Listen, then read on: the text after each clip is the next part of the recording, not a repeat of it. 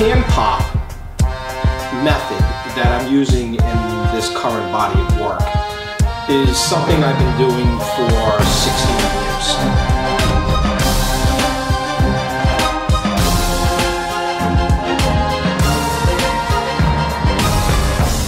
So I used a painter's tool and I cautiously popped a hole in the bottom of the can.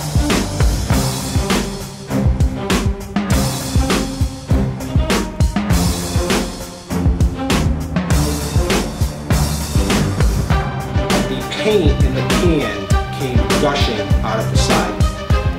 Uh, I've been a victim of many uh, misfires uh, during this process.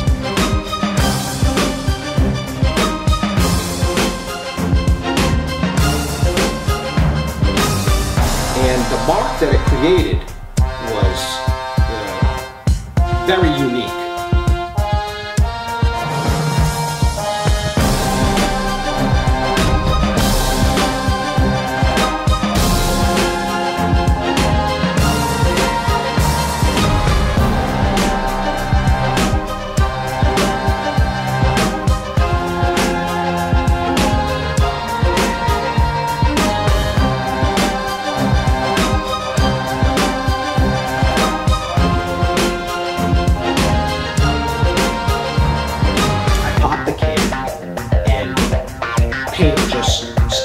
Spraying all over me, all over the wall, everything in the vicinity.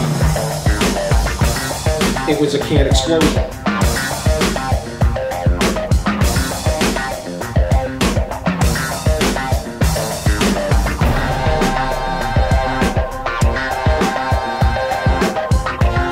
The actual exploding of the can and using that as a method to make marks is what inspired my bomber. This act of exploding, giving all of yourself, this energy that came out of the can.